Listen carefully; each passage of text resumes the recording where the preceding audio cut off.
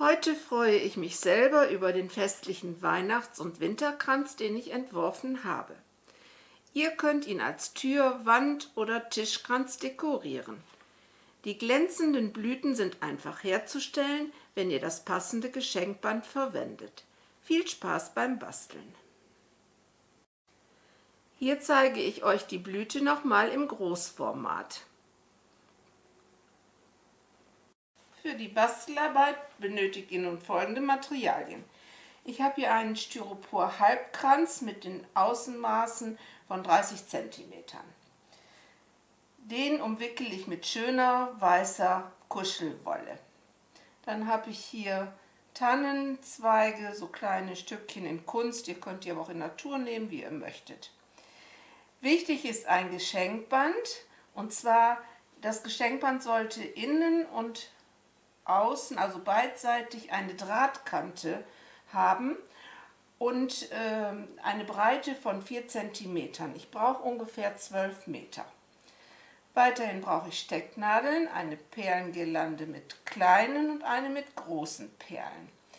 Eine Schere, ein Alleskleber, ein Heißkleber und eventuell eine Kerze, wenn ihr die in den Kranz stellen möchtet. Ich habe nun den ganzen Kranz mit der Wolle umwickelt, das heißt, hier fehlt noch ein kleines Stück. Ich habe die Wolle hier so angeheftet mit einer Stecknadel. Ihr könnt es auch mit einem Heißkleber festmachen, aber so geht es auch ganz gut. Und dann wickele ich die Wolle stramm darum. Ihr könnt euch am besten so kleine Wollknäule wickeln, dann kann man das immer so gut hier da durchstecken. Und dann wickele ich halt den Rest des Kranzes hier noch schön auf.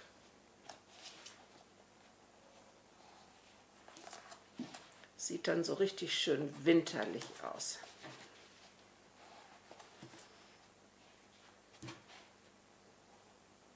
So, einer passt noch. So, jetzt schneide ich hier den Rest durch und klebe den eben mit ein bisschen Heißkleber fest. So, mein Kranz ist fertig. Natürlich nur der Grundkranz. Und jetzt zeige ich euch, wie diese Blüten entstehen. Mit den Blüten kann man wirklich schön viel machen, Geschenke auch noch bekleben oder die einfach so auf den Kaffeetisch legen. Also die Blüten, finde ich, sind wirklich toll. So, dafür schneide ich von dem Geschenkband einen Streifen von 44 cm Länge ab. So, das Band, habe ich ja eben gesagt, sollte auf beiden Seiten ein Draht so haben. Den hole ich mir so auf jeder Seite, also hier oben auf der Seite und hier raus.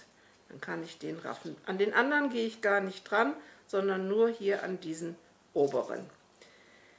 Damit die nicht ausfransen, habe ich die, diese Ränder jetzt kurz mit einem Kleber so ein bisschen noch eingeklappt und festgeklebt an beiden Seiten. So, und dann beginne ich diesen Draht hier zu ziehen, am besten von beiden Seiten, also nicht ganz zu doll ziehen, mir ist auch schon so ein Band mal gerissen oder so ein Draht, also ein bisschen so mit Gefühl. So. So. Und dann knote ich den Draht, hier die beiden Enden, zusammen. Ich mache hier sofort mal so, so einen Doppelknoten. Dann ziehe ich die Blüte noch mal schön zusammen. Aufpassen, nicht zu doll, nicht dass das reißt, nicht dass der reißt. So, das verknote ich jetzt noch ein paar Mal, damit es auch gut hält.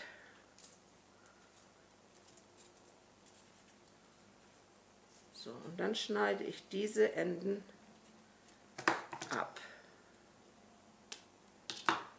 So, und damit die Blüte schön geschlossen ist, klebe ich hier das offene Ende hier oben nochmal zusammen. So. Dann drücke ich die Blüte ein wenig platt. So. Dann trenne ich mir von der äh, großen Girlande als erstes hier eine Perle ab. Schaue, dass ich hier den äh, Faden so ein bisschen weggeschnitten bekomme. Manchmal kann man das auch ganz gut mit einer Nagelschere. So, dann setze ich diese Perle als erstes ein. Und zwar muss ich hier außen so den Klebstoff aufgeben und drücke sie so hier so in die Mitte. So, also der Rand sollte sich mit dem Geschenkband verbinden.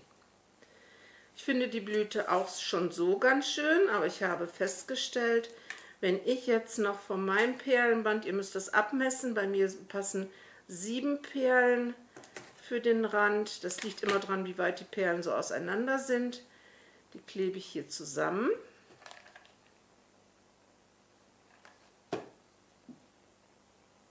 So, lass das so ein wenig anziehen.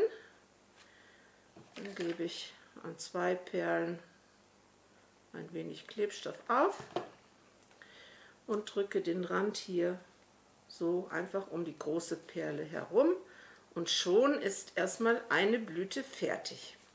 Klebefäden könnt ihr dann absammeln und von dieser Blüte stelle ich jetzt einige her.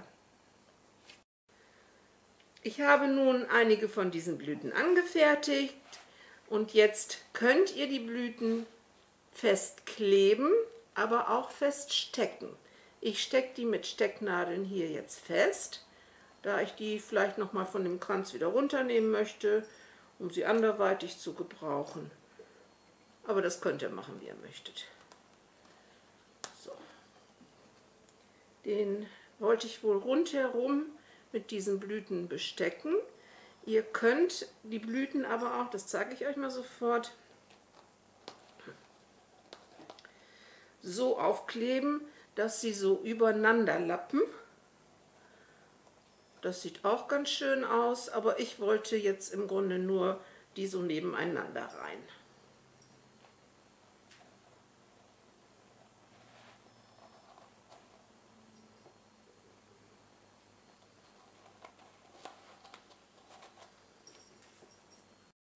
So ist mein Kranz fertig. Ich wollte ihn so ganz schlicht nur mit den Blüten lassen.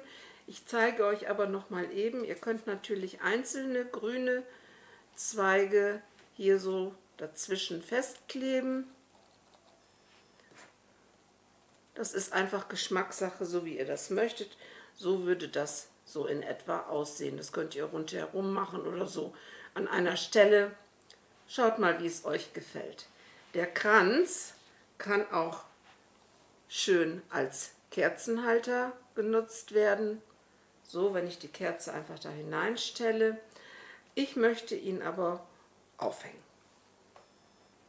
Ich wünsche euch viel Freude an dem schönen Kranz. Wenn ihr Lust auf weitere Bastelideen von mir habt, dann abonniert doch meinen Kanal, denn dann erfahrt ihr sofort, wenn ich ein neues Video ins Netz gestellt habe.